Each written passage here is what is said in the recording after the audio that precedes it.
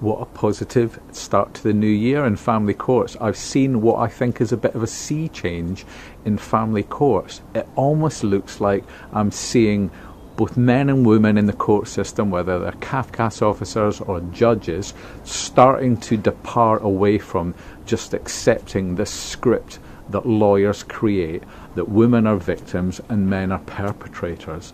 It seems quite healthy that people are starting to use case law such as K versus K, which I'll send a link to on the, the video below, but they're really starting to see a positive sea change to the tried and tested strategies of lawyers that complicate cases, that amplify conflict, that push parents further apart rather than bringing them together and I've been in, involved in a couple of court cases helping people that have been really kind of picked me up and I thought it'd be really positive to share that energy uh, on YouTube to the YouTube community for fathers in particular who might get a bit of hope for uh, from that. Um, so I hope that kind of cheers you up if you're a dad and you're just starting a divorce or separation process and you want to be an active, involved father.